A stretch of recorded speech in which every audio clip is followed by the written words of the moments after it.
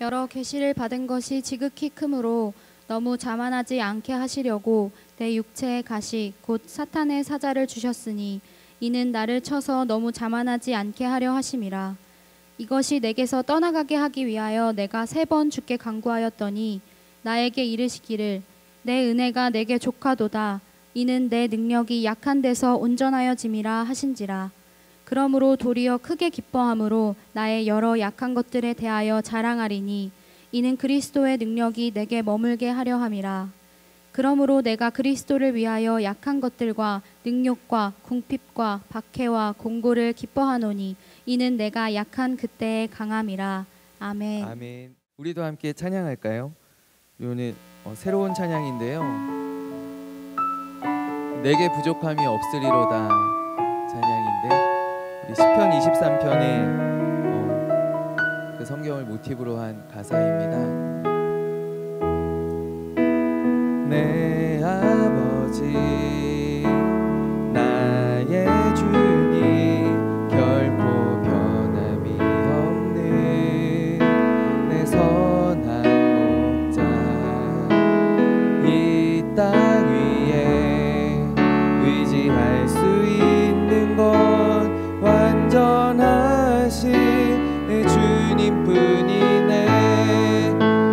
내 아버지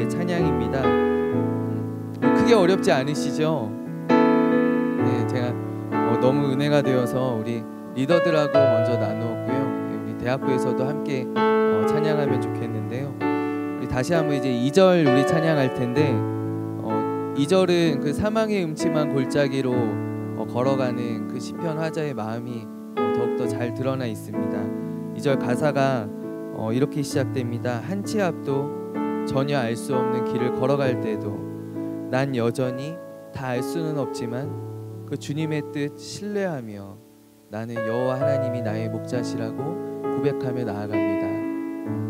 다시 한번 가사를 깊이 생각하면서 여러분 아직 어색한데 너무 크게 어, 부르지 않아도 좋습니다.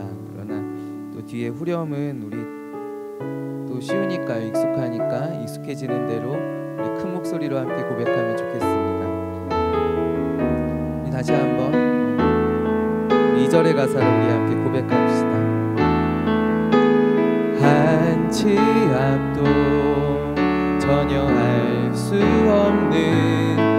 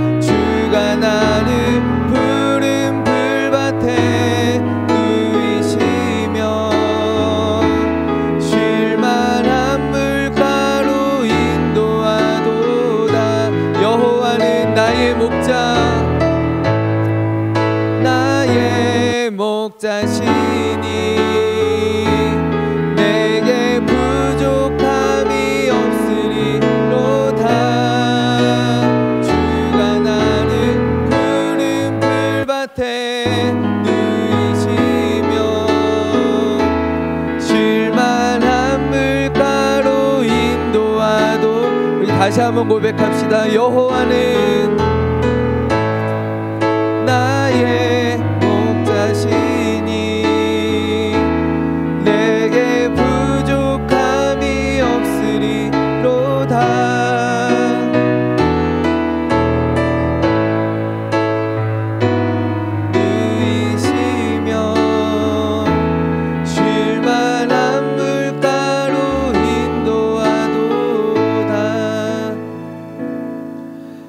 아버지 우리의 목자 되신 주님을 쫓아 우리가 이 자리 가운데 나와왔습니다. 우리의 힘으로 우리의 의로 나온 것이 아니고 모든 것이 인도하시는 하나님의 은혜인 줄로 믿습니다. 우리의 일평생 우리의 목자 되시는 주님을 의지하며 나아가기를 원하오니 주님 다짐하오니 하나님 아버지 우리의 하나님이 되어 주시옵소서. 올해도 말씀 가운데 우리를 일으키시고 우리를 깨우치시며 주의 말씀을 따라 살아갈 수 있는 힘과 능력을 믿음을 하나님 아버지 우리에게 허락하여 주시옵소서. 함께 하시는 주님을 의지합니다. 주님 세우신 종이 너무나 연약하고 부족하오니 하나님 불쌍히 여겨주셔서. 아버지 오늘도 오직 주의 말씀만 그 말씀의 능력만이 우리 안에 살아 역사하는 귀한 시간 주님 임재하시는 시간 되게 하여 주시옵소서 모든 말씀 살아계신 주 예수 그리스도의 이름으로 간절히 기도하옵나이다 아멘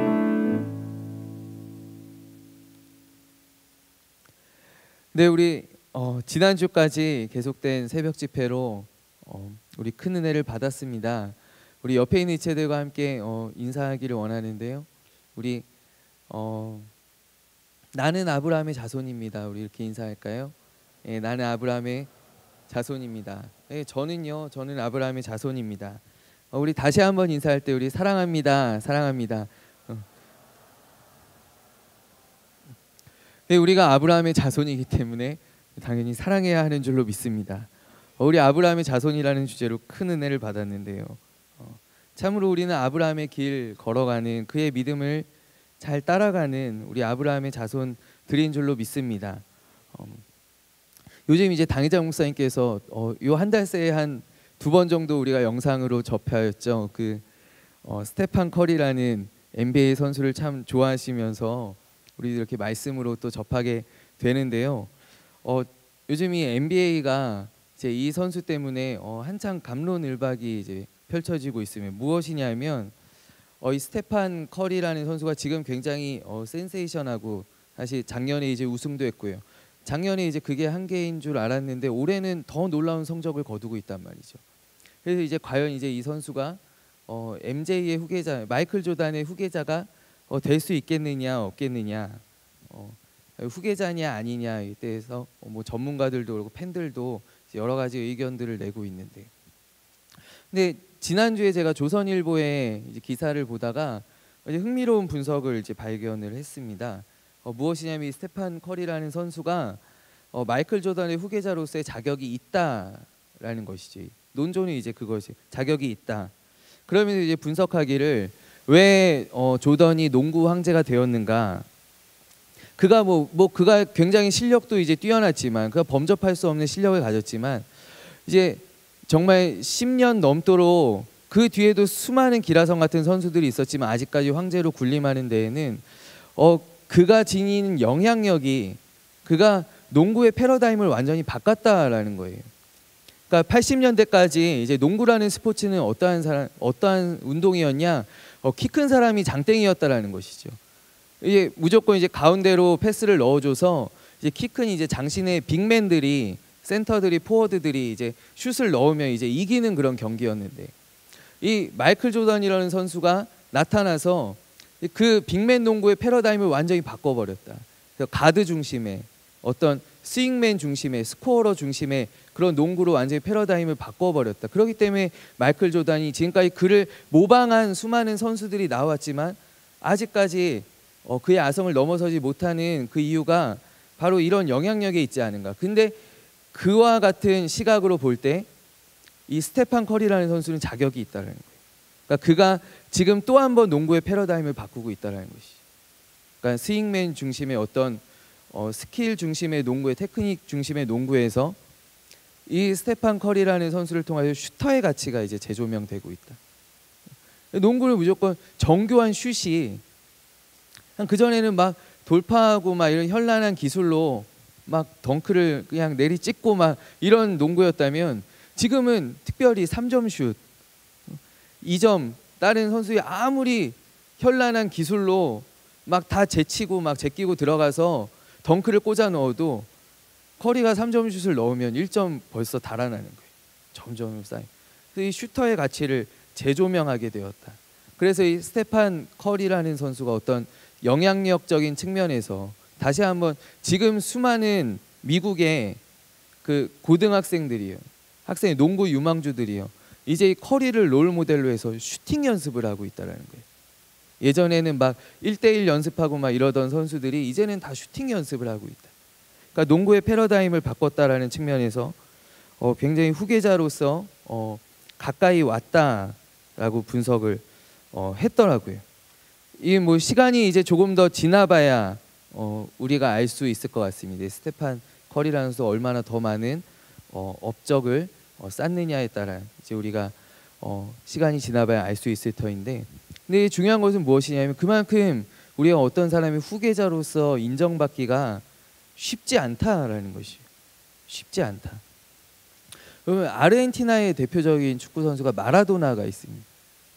이 마라도나가 어, 1986년에 월드컵 우승을 했습니다. 그래서 거의 뭐 어, 아르헨티나에서는 신의 반열에 들어요. 그 다음부터 아르헨티나에서 나오는 모든 유망주들의 꼬리표가 무엇이냐면 마라도나의 후계자가 될 수 있을까?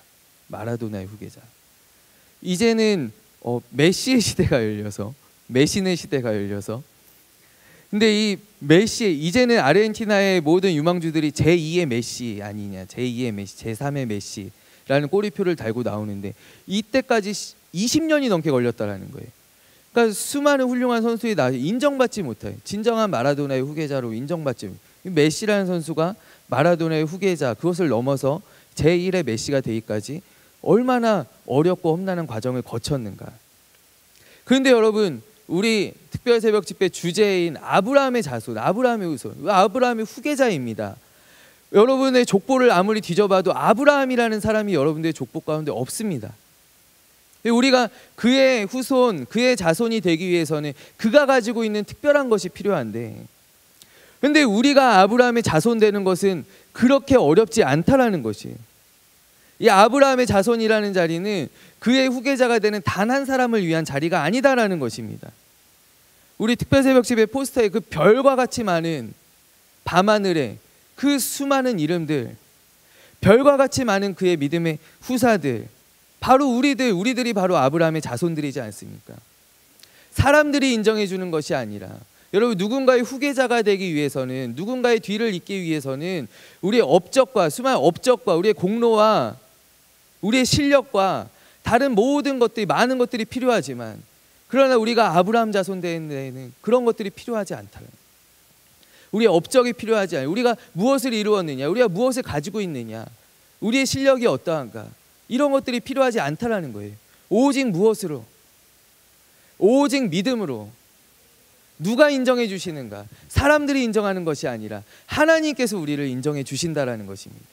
이 사람도 아브라함의 자손이로다. 너도 아브라함의 자손이로구나. 여러분 여리고성의 삭개오 여러분들 잘 알고 계시지 않습니까? 삭개오가 뽕나무에 감람나무에 올라가서 예수님을 갈망하고 예수님 보기를 갈망하고 그가 그의 집에 예수님을 영접하였을 때 그가 그렇게 이야기합니다. 예수님 예수님 나는 이제 다른 사람의 것을 빼앗지 않을 거예요. 내가 다른 사람의 것을 빼앗은 일이 있으면 내가 이제부터는 네 배로 갚겠습니다. 라고 그가 결단하였을 때 그의 믿음을 보여줬을 때 예수님께서 이렇게 말씀하십니다. 그래 바로 너도 아브라함의 자손이로구나. 사개오를 향하여 죄인인 사개오를 향하여 너 아브라함의 자손이 되어라라고 말씀하신 것이 아니다라는 것입니다. 바로 누가 인정해 주시는 주님이 우리를 아브라함의 자손으로 우리 모두를 아브라함에게 걸어가는 믿음이 있는 우리 모두를 아브라함의 자손으로 인정해 주시는 줄로 믿습니다. 여러분 그렇기 때문에 믿음이 가장 귀한 것입니다. 제가 지난주에 김문수 선생님 말씀을 통하여 큰 은혜를 받았는데 그래서 사실 지지난주 지지 지난주 제가 무슨 이야기 했는지 여러분들 기억이 나지 않으시죠? 제가 지금 어, 신앙의 기본에 대하여서 쭉 오고 있는 오늘 이제 세 번째 시간입니다. 어, 첫 번째 기억나시는 분 제발 말씀해 주세요. 첫 번째 시간 우리 뭐에 대해서 나누었었죠? 네, 말씀. 두 번째, 두 번째 기도. 네, 말씀과 기도. 그리고 오늘은 이제 무엇에 대하여 어, 함께 나누기를 원하냐면 우리의 믿음에 대하여 믿음이란 무엇인가에 대하여 함께 어, 나누어 보았으면 좋겠습니다. 음, 첫 번째 말씀 어, 그리고 기도입니다. 기도. 제가 어, 이야기할 때 말씀은 바로 하나님께서 우리에게 다가오시는 것. 하나님께서 세미한 음성을 통하여 우리에게 다가오시는 것이 하나님의 말씀이다. 하나님의 능력이다. 기도는 무엇인가? 기도는 바로 우리가 하나님 앞에 나아가는 것입니다. 나의 있는 모습 그대로 나의 믿음을 가지고 나아가는 것이 바로 기도입니다. 여러분 어, 열왕기상에 보면요 솔로몬이 건축하는 성전이 나옵니다. 성전의 모양이 아주 세밀하게 묘사되어 있습니다. 근데 이 성전의 가장 두드러진 특징 가운데 하나가 무엇이냐면 성전 외부에 있는 두 개의 높은 기둥입니다. 고대 불가사의 가운데 하나로 꼽히는 이 솔로몬의 성전. 그 솔로몬의 성전에서 가장 두드러지는 가장 큰 볼거리가 무엇이냐면 그 밖에 있는 성전 외부에 있는 두 개의 큰 기둥. 근데 하나는 이름이 무엇이냐면 약힌입니다. 약힌. 약인. 우리 성경에 약인이라고 되어 있죠. 그또 하나는 그 기둥의 이름이 기둥의 이름을 가지고 있어요. 기둥의 이름이 보아스입니다. 보아스. 근데 이 야기는 어, 무슨 뜻을 가지고 있느냐면 저가 세우리라. 이 보아스는 어떤 뜻이냐면 그에게 능력이 있다. 그러니까 이 두 개가 이 솔로몬의 성전은 무엇이냐면 하나님의 임재, 이스라엘의 신앙의 상징이지 않습니까? 이스라엘의 어떤 믿음의 상징인데 그 이스라엘의 믿음을 이스라엘의 신앙을 이 두 개의 기둥이 이 두 개의 기둥은 성전 밖에 세워져 있기 때문에 실질적으로 이 성전에 바치는 기둥은 아니에요.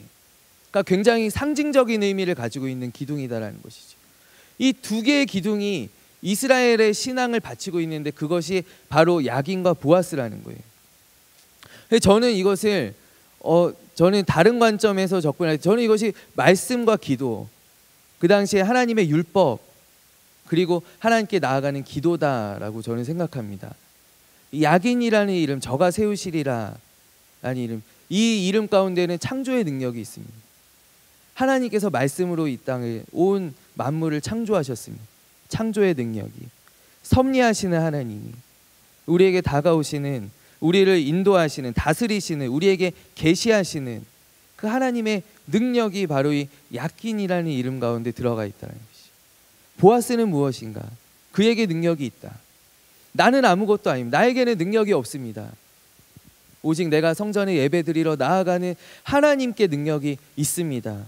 바로 우리의 기도, 우리의 강구, 우리가 도우심을 구하는 그 이스라엘이 하나님, 우리 민족은 힘이 없습니다. 오직 하나님께 능력이 있는 줄 믿습니다. 이 이스라엘의 기도와 강구가 이 이름 안에 들어 있는 것이죠. 그러니까 이 두 개의 기둥이 말씀과 기도의 두 개의 기둥이 바로 이스라엘의 믿음을 떠받치고 있다. 이스라엘의 신앙을 떠받치고 있는 이 두 개의 기둥이 바로 말씀과 기도. 말씀은 바로 무엇인가? 말씀은 믿음으로 받는 것입니다. 믿음으로 하나님의 능력을, 하나님의 응답을, 하나님의 도우심을 받는 것이 바로 말씀입니다. 기도는 무엇인가? 바로 내가 믿음으로 구하는 것.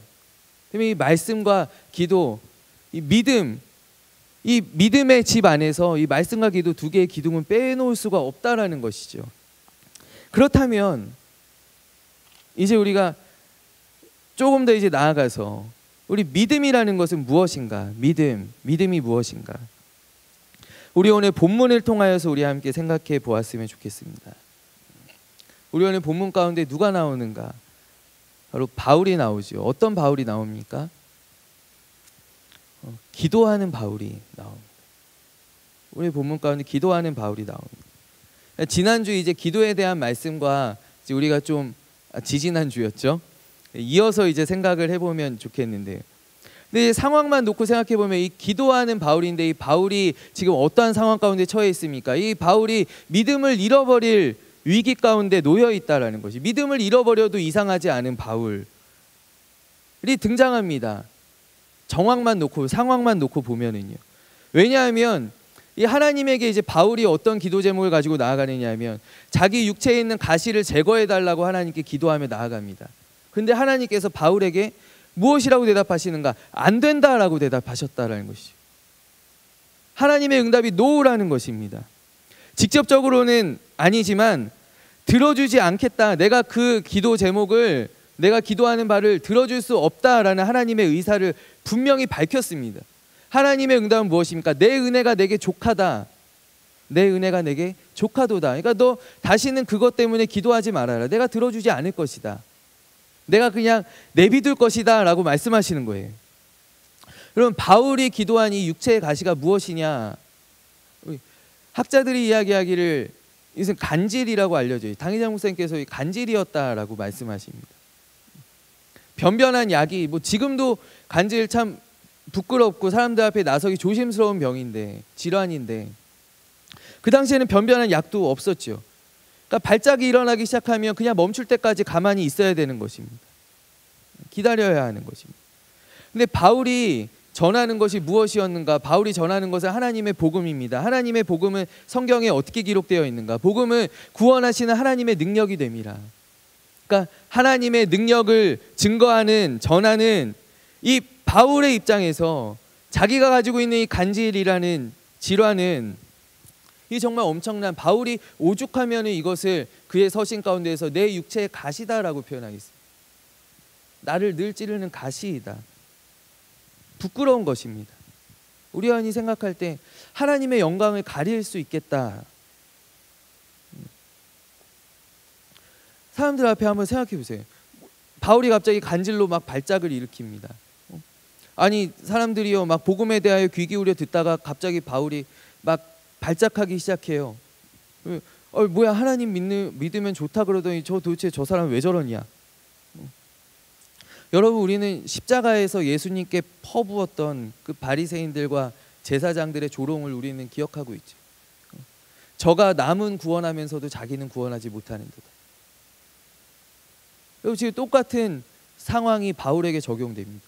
저가 능력으로 성령의 충만함으로 다른 사람들의 병들을 막 고치면서 치유하면서 손을 얹으면 병들이 나으면서 자기 자신의 병은 고치지 못하는구나. 저게 무슨 능력자인가? 저게 무슨 사도인가?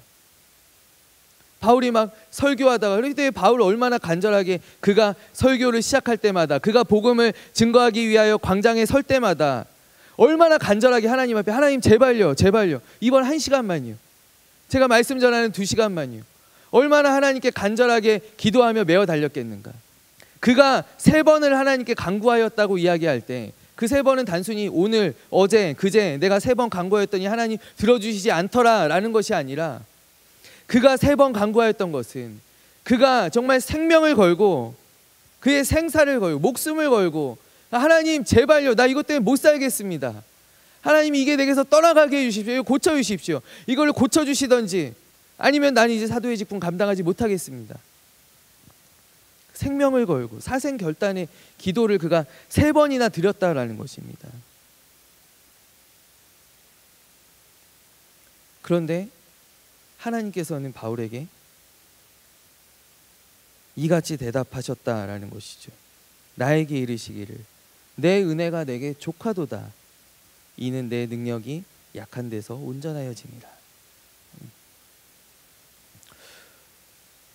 저는 이게 여러분들에게 어, 기도해야 됩니다. 기도하면 이루어집니다. 기도하면 하나님께서 역사하십니다. 라고 전해야 하는 어, 저에게는 이것이 잘 이해가 되지 않는 것이죠. 하나님의 능력이 여러분 낫게 해 주시는 것이 하나님의 능력이 아니겠습니까?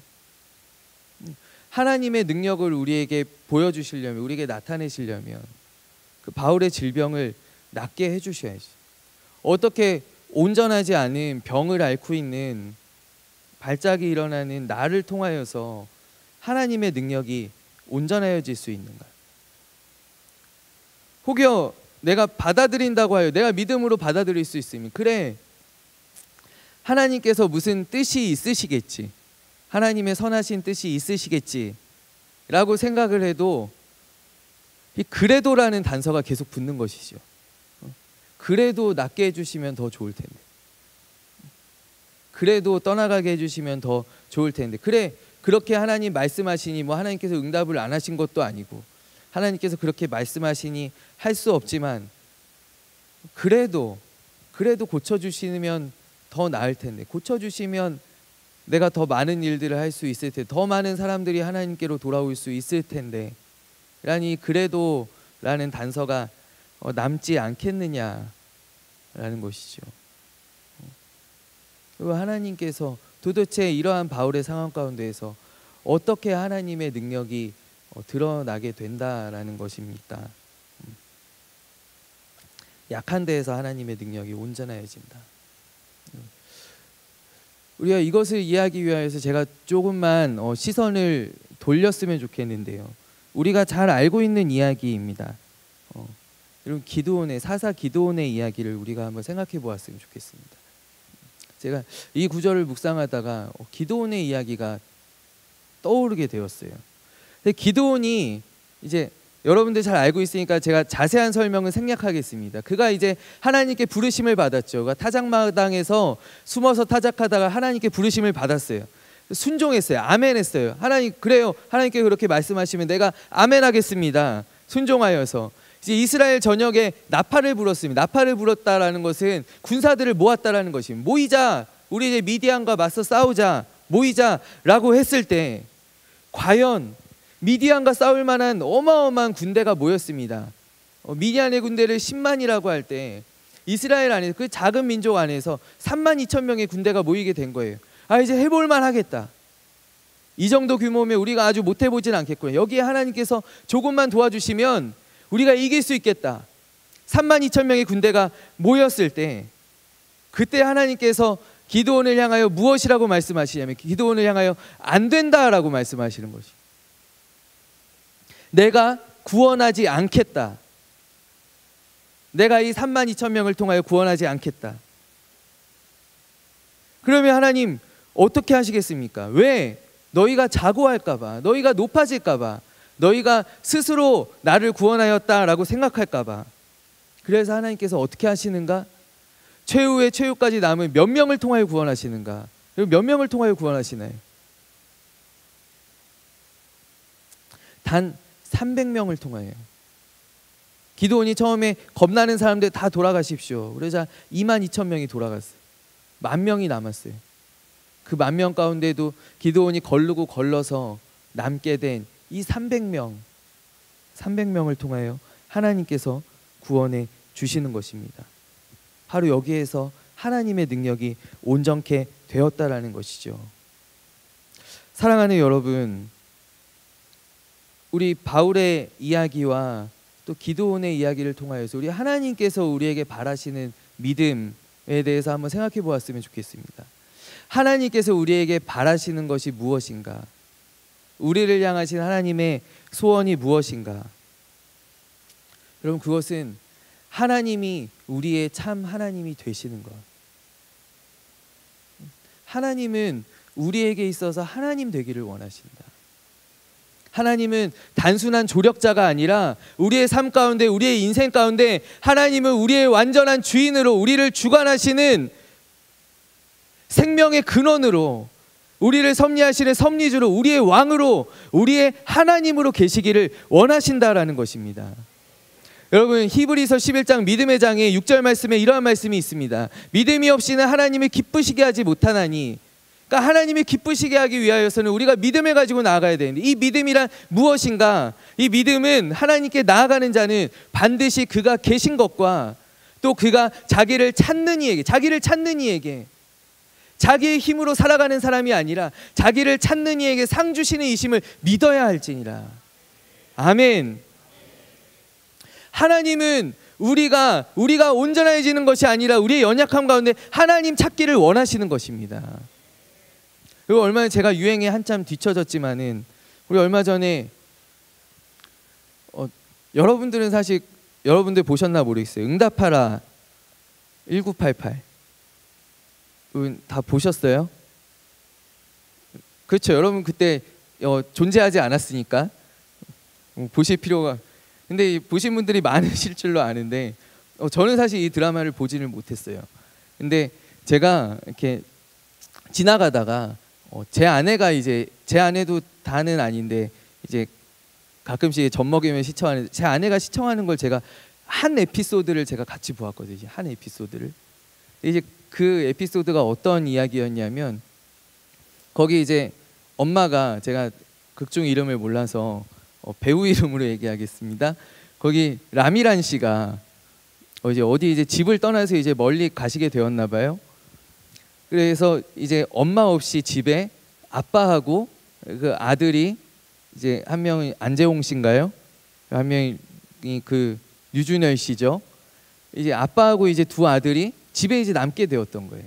집에서 막 엉망진창이죠. 막 남자 셋이 있으니까 청소도 안 하고 빨래도 안 하고 막 엉망진창으로 막 살다가 오늘 엄마 오신다. 엄마 오신다. 엄마 터미널에 도착하셨다. 그 이야기를 듣고 그 연락을 받고 이제 이 남자 셋이 이제 막 정말 전투적으로 집을 정리하기 시작하는데 청소하고 빨래하고 빨래를 널고 이불 다 갖다 개고 막 치우고 막 해서 엄마가 띵동하고 들어왔을 때 보니까 집이 완벽해졌어요. 어. 집이 정말 완벽해. 막 몇 박 며칠 동안 어질러졌던 집이 완전히 완벽해. 그래서 엄마가 이제 그 라미란 씨가 옛날에 뭐 진짜 사나이 거기에도 나왔었다면서요. 막 사열하듯이 사열하는 것이죠. 냉장고도 열어보고 세탁기도 열어보고 앞에 가서 빨랫줄도 보고 방도 이렇게 이불도 이렇게 들춰보고 소파도 들춰보고 하는데 흠잡을 것이 아무것도 없는 거예요. 너무나 이 새 부자가 너무나 완벽하게 했어요.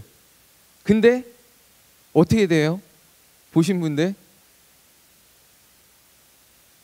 아무도 아 여러분 정말 너무나 신실하시군요. 제가 더 자세하게 설명을 해야 되겠네요. 근데 이 엄마가 그 집에 와서요 어, 삐지신 것이죠. 그래서 엄마가 말을 안 합니다. 말을 안 하기 시작해. 상대를 안 해요. 그래서 이제 이 류준열이라는 아들이 이제 친구에게 상담합니다. 어, 우리 엄마가 거기 갔다 오더니 이상해지셨다. 어, 말을 안 하는 화가 나 계시다. 우린 잘못한 게 없는데 엄마가 화가 나 계시다. 어, 어떻게 해야 좋을까? 그랬더니 이 친구가 뭐라고 조언하냐면 집을 어지르라라고 조언해. 집을 어지르라.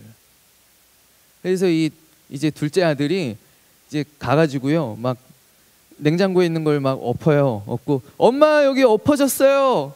그러니까 엄마가 이놈의 자식이 이러면서 와가지고 막 잔소리를 하면서 막 주워 담으시는 거예요. 막 방에 가서요 막 서랍을 열고 막 옷들 막 이렇게 뒤지다가 엄마 내 반바지 어디 갔어요? 야 이놈아 너는 맨날 그걸 까먹냐 이러면서 와가지고 반바지 찾아주시고 이러면서요 엄마가 살아나기 시작해요. 엄마가 살아나기 삐졌던 마음들이 풀리기 시작하는 거예요. 무엇이냐 하면 엄마가 힘들었던 것이 무엇이냐 하면 우리 집에 내가 없어도 되는 것이 너무나 슬펐던 거예요. 얘가 엄마라는 존재가 없어도 우리 아빠가 우리 아기 두 명이 이렇게 완벽하게 잘 정리정돈하고 잘 살아가는 것이 그게 말로는 어떻게 표현할 수 없는데 너네 왜 이렇게 잘 살아? 이렇게 이야기하기는 어려운데 이게 마음이 상하는 거, 마음이 상하는 거. 아 얘네들이 나 없어도 뭐야 내가 필요 없네. 나 없어도 잘 사네. 나 그럼 다음에 한 달 나갈까 보다. 막 그러면서요 점점 막 자괴감에 빠지고 말을 안 하게 되는 것이죠. 무엇이냐? 하나님이 그의 자녀들에게 무엇을 원하시는가? 하나님은 우리에게 아버지 되시기를 원하십니다. 하나님은 우리의 목자가 되시기를 원하십니다. 우리가 하나님 없이 잘 살아가는 것, 우리가 하나님 없이 어려움 없이 신앙생활을 잘하는 것, 우리가 세상에서 승승장구하면서 하나님을 찾는 것 하나님께서 잘 되니까 뭐라고 못하시게 서운하신 것입니다. 서운하신 것입니다. 바울이 이것을 깨닫게 되는 것이죠. 아, 나의 약함으로 인하여서 내가 하나님을 붙잡게 되는구나. 하나님의 이름을 부르게 되는구나. 내가 어디에 나갈 때마다, 내가 외출할 때마다 하나님, 이미 내가 어디 갑니다. 어디 여행 갑니다. 하나님, 날 도와주세요. 내가 하나님을 찾게 되는구나. 이 하나님을 찾을 때 그것이 나에게서 나타나는 하나님의 능력이 된다라는 것을 바울이 고백하는 것입니다. 사랑하는 여러분, 무엇입니까? 하나님은 당신을 찾는 믿음을 구하시는 줄로 믿습니다. 우리 믿음이라는 것은 무엇인가?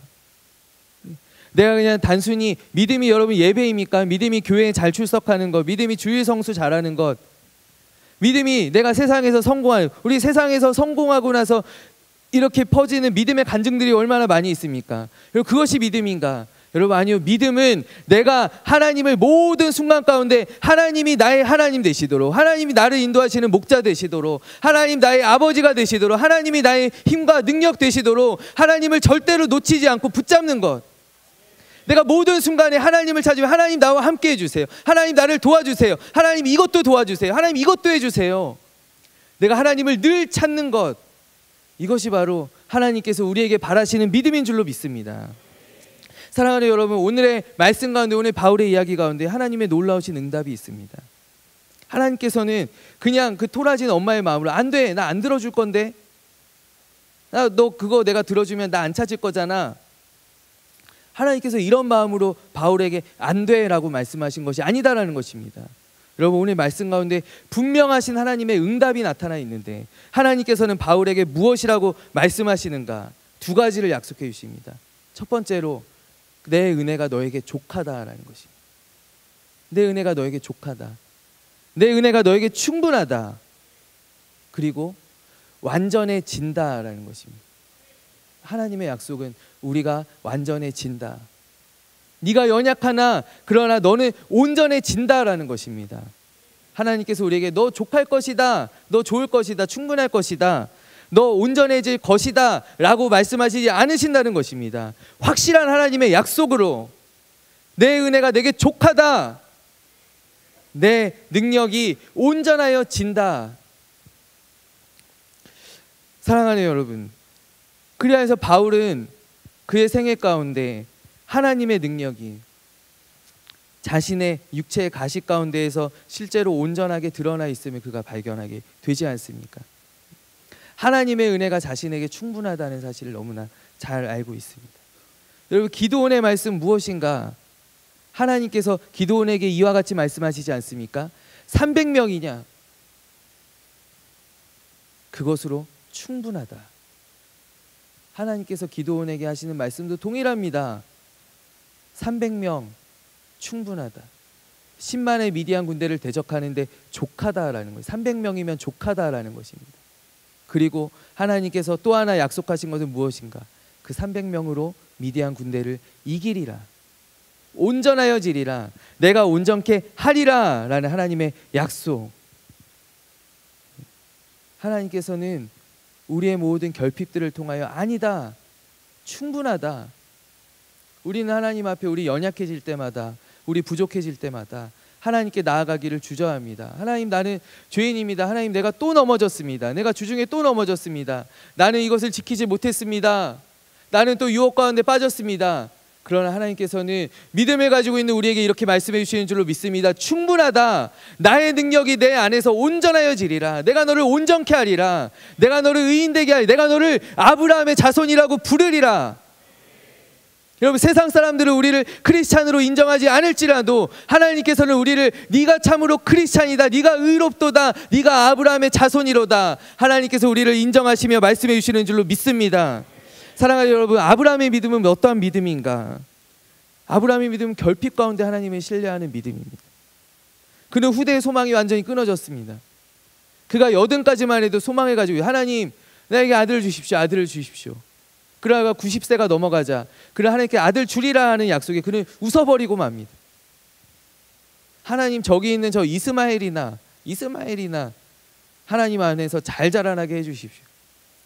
사라도 그가 향년 79세 때 그가 하나님의 약속을 듣자 그 장막 뒤에서 웃지 않습니까? 아이고 내가 어떻게 난 이제 어, 여인으로서의 소망이 다 끊어졌는데 내가 어떻게 아들을 낳을 수 아들을 베고 아들을 낳을 수 있을까? 그의 모든 소망이 끊어진 그의 후대를 기대할 수 없는 그 결핍 가운데에서 하나님의 능력이 온전하게 나타나는 것입니다. 그가 온전케 하리라는 내 족하다. 내 은혜가 내게 족하다. 내가 아들을 얻으리라. 내가 내 자손을 하늘의 별과 같이 바다의 모래와 같이 많게 하리라. 라는 하나님의 약속을 믿었을 때 하나님께서 그것을 기뻐하시면서 무엇이라고 말씀하시는가?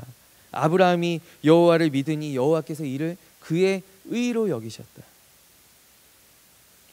그가 아무런 업적이 없어요. 그의 실력이 없었습니다. 그를 의심하고 많이 넘어졌습니다. 그는 하나님께서 지시하신 가나안 땅에 갔음에도 기근이 찾아오자 그는 애굽으로 도망갔습니다. 또 기근이 찾아오자 블레셋으로 도망갔습니다. 아들을 주리라라는 하나님의 약속을 끝까지 신뢰하지 못하고 그는 그와 그의 아내가 같이 마음을 품고 그 여정을 통하여서 아들을 얻었습니다. 그러나 그가 하나님의 약속을 믿었을 때 하나님께서 그를 의롭다라고 하시는 것입니다. 여러분, 아브라함의 자손이란 무엇인가? 우리가 어떤 믿음의 실적을 쌓아야 하는 것이 아닙니다. 믿음의 실력을 내 빛나는 업적들을 쌓아 나가는 것이 아닙니다.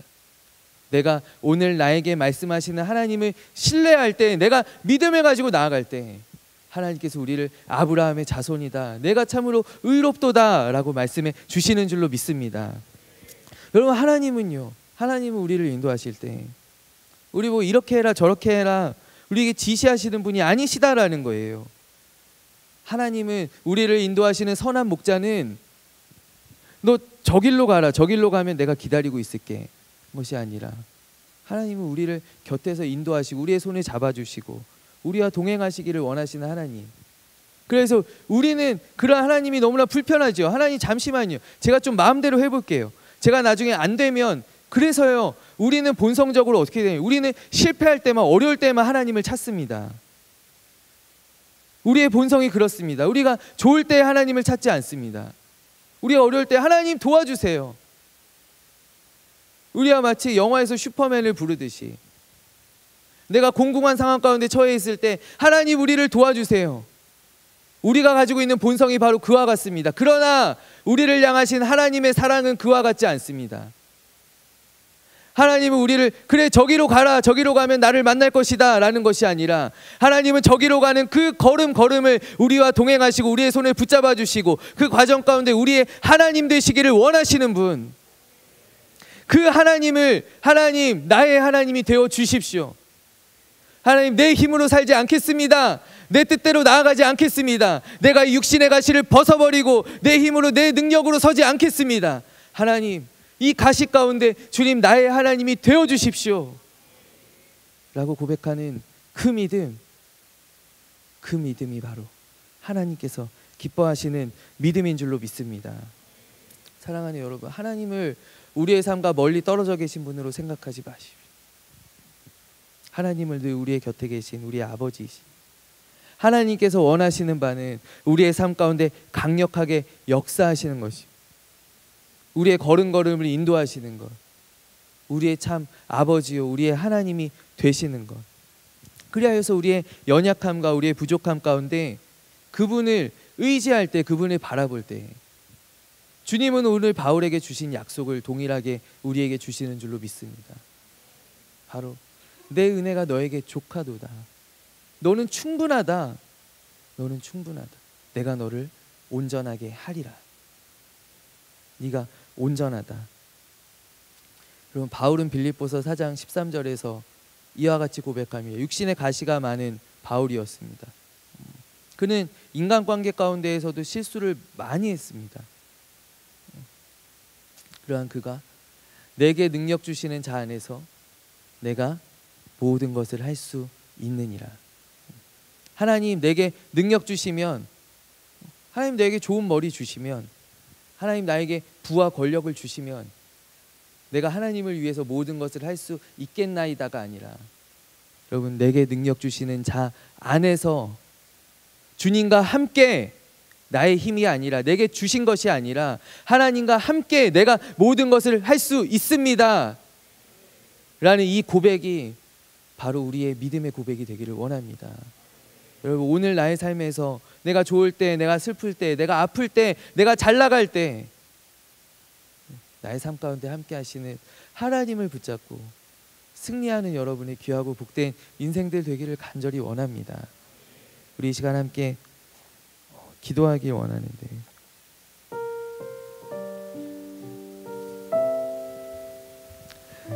내가 약할 때 주님의 능력이 나를 붙들어 주시는 줄로 믿습니다. 주님의 사랑, 그 주님의 은혜가 내 안에 가득히 넘치니 나는 부족함 없습니다. 나는 승리할 것입니다. 온전하신 하나님의 은혜 가운데 내가 나아가겠습니다.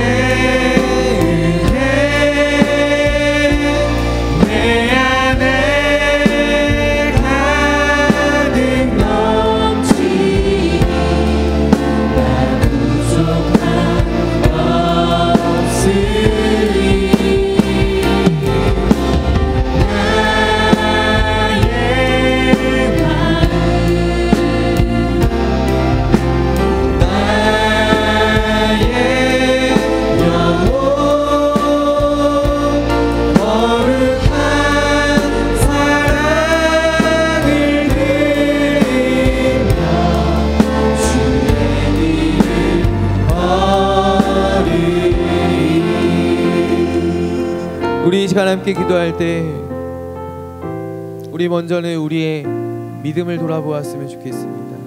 내가 하나님 앞에 어, 믿음이라고 내어놓는 것들, 나의 열심을, 나의 헌신들, 나의 기도를 한번 돌아보기를 원합니다. 그리하여 오늘 이 바울의 고백이 나의 고백 되어지기를 원합니다.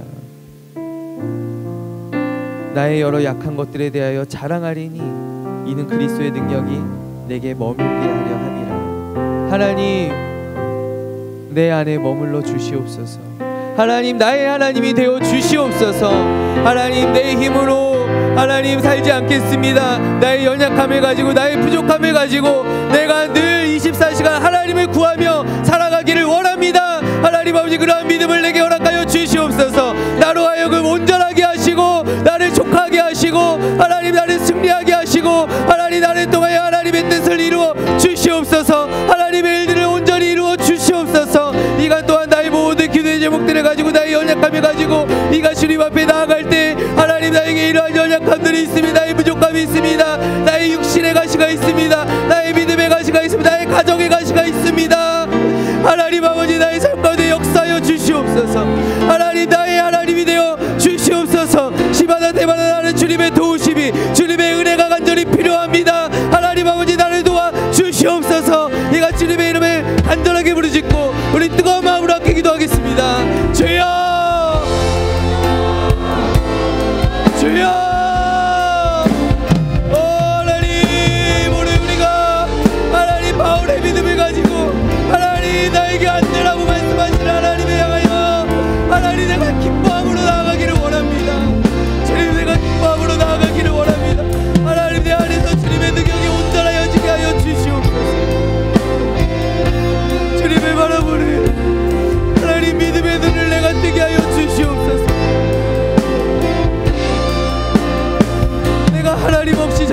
사람 되지 아니하게 하시고 늘 하나님의 도우심을 구하며 하나님의 가심을 구하며 주님 안에서 내가 모든 것을 할 수 있음을.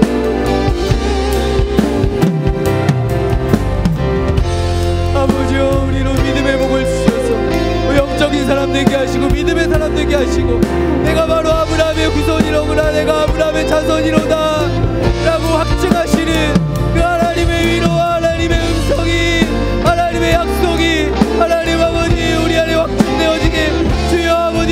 도와주시고 역사하여 주시옵소서. 은혜 주실 줄로 믿습니다. 은혜 주실 줄로 믿습니다. 하나님 함께 하실 줄로 믿습니다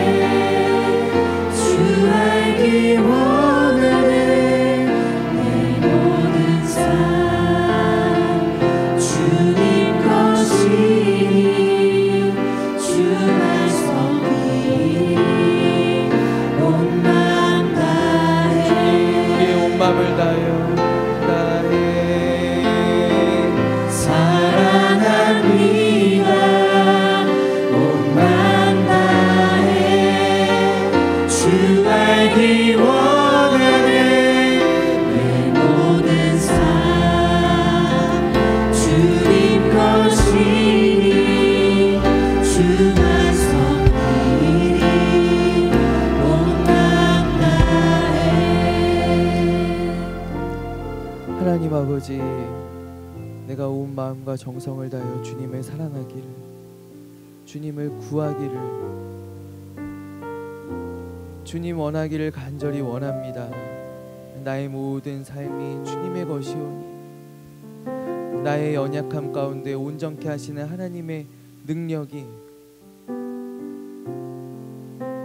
나의 삶 가운데 나타나게 하여 주시옵소서 내가 하나님 없이 잘 되는 인생 될까 두렵습니다.